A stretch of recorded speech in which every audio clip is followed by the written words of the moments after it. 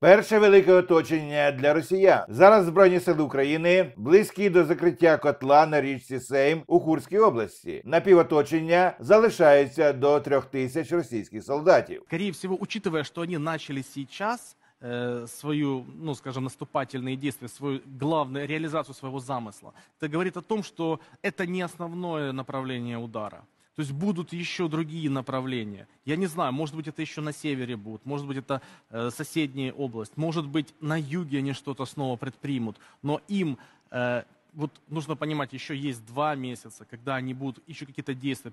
Зараз українські збройні сили не лише окопуються і розширюють зайняту територію, підтягуючи резерви, а й що особливо важливо, готують новий район бойових дій, перерізаючи російські лінії постачання у Глушківському районі Курської області. Зараз Україна контролює 1263 квадратні кілометри та 93 населені пункти в Курській області. Про це повідомив головнокомандувач збройних сил України генерал Олександр Сирський. Він підкреслив, що за період наступу збройні сили України просунулись на глибину оборони ворога від 28 до 35 кілометрів. Нагадаємо, що збройні сили України почали знищувати мости через річку Сейм на півночі Глушківського району Курської області, і такі дії відрізали групування армії РФ, оскільки це райони з заходу та півдня охоплені територією України. А ви тільки вдумайтеся в одну штуку, що нам доводиться вивчати з вами географію Курської області, які там річки є, які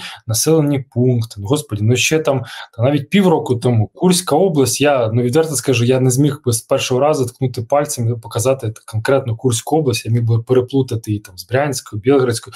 Зараз, бачите, вже доводиться аж по районах вже розуміти, по мас по, по містах, по мостах, по переправах. Ну, це такий оф-топ, але для для зрозуміння. Але він завжди приємний насправді. Так, дійсно.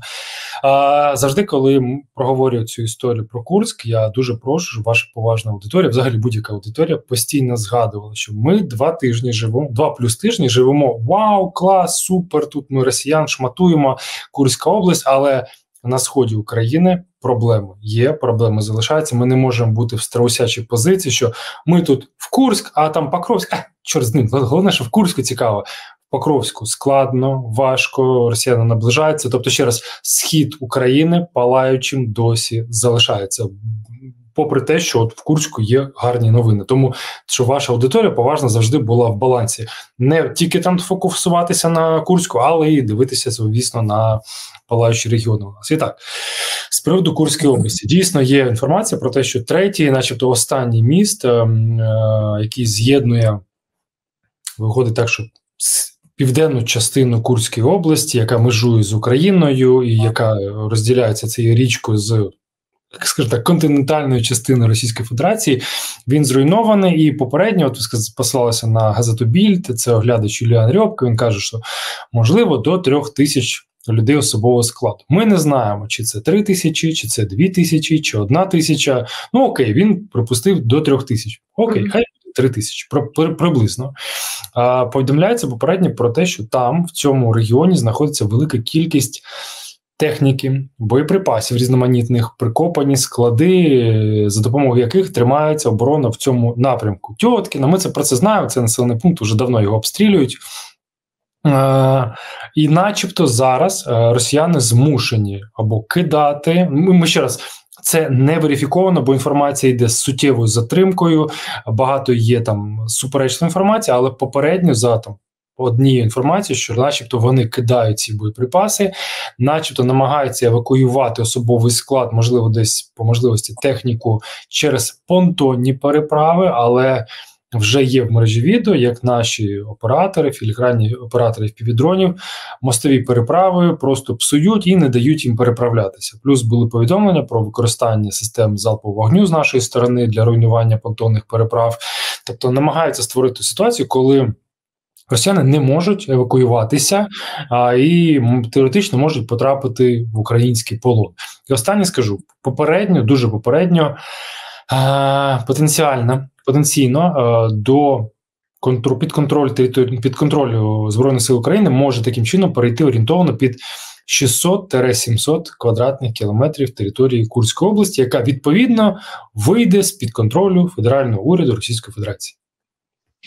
Пане Іване, ми з вами ось на початку саме цієї теми говорили, що дуже важливо не забувати насправді, що в нас є далеко невтішні новини і на Покровському напрямку. І звісно, ми це будемо обговорювати. І в цьому ключі е, хотілося почути вашу думку, е, як можна пояснити те, що Путін е, не перекидає туди військ, як нам відомо вже з відкритих джерел. І він готовий жертвувати е, тим, що ось два тижні його принижують. Е, вся міжнародна преса пише про те, що ось е, іноземні війська на території ядерної країни дозволяють собі так багато, але все ж таки для нього чомусь важливо Донецька область, а не своя земля. Так, давайте будемо припускати, бо у нас багато не не е, ну, закритих даних для нас. Вони в в тумані війни. Це з української сторони. Ми не знаємо, яка реальна мета або декілька цих цілей. Так само не знаємо, що в голові у диктатора, але давайте будемо пропускати. Ваші поважні глядачі будуть самі обирати, що їм ближче, що їм ближче подобається. Тобто, ще раз не хочу нав'язувати якусь одну конкретну думку. От ви повинні це думати. Різні варіанти, а ви вже там розмірковуєте. І так на в перші дні е, українського цього наступу прориву дійсно базовою була, і в принципі вона залишається думка про те, що внаслідок такого прориву росіяни. Хоч не хоч, бажаєш, не бажаєш, але треба забирати свої війська, частину десь е, з резервів, з Харківської, е, Херсонської, Запорізької, Донецької областей, перекидати для того, щоб вибити Збройні Сили України, і таким чином полегшити ну, теоретично становище наших військових на Харківському, Херсонському і ну, інших напрямках відповідно. Ми з вами розуміємо, що в російському генштабі, в російському керівництві не сидять повні ідіоти. Так, там є Бовдорі, є там і такі, такі, такі, але багато розумних людей. Тобто, якщо б там були ідіоти, то війна закінчилася в березні 22-го року. Ну, все було б окей.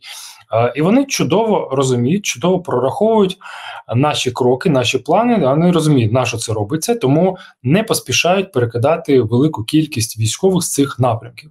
Було багато суперечливих даних. Перші дані були такі начебто ну, наші військові казали, звісно, це не офіційно про те, що от, е, харківський напрямок, начебто, легше стало дихати, але за декілька днів навпаки кажуть: ні ні ні ні взагалі ну не то, що легше не стало, стало ще гірше. І повідомляється про підсилення російських наступальних частин саме в напрямку ліпців, тобто вони там посилюються замість того, щоб перекинути. Спочатку були дані про дві тисячі людей, про техніку, про танки, навпаки, посилюються. Тому я припускаю, можливо, такий розвиток подій. Росіяни ще раз прорахували цей крок.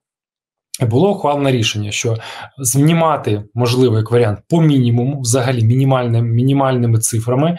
Називали такі цифри, що десь по тисячі людей з кожного напрямку, тобто, взагалі, загальної суми, скільки там 600 тисяч людей, як називав е, на наш е, пан Сирський, здається, казав, росіяни, які стоять навколо України, то по тисячі людей ну це небагато. Орієнтовно росіяни зібрали 10 тисяч людей і готові їх кинути в Курську область.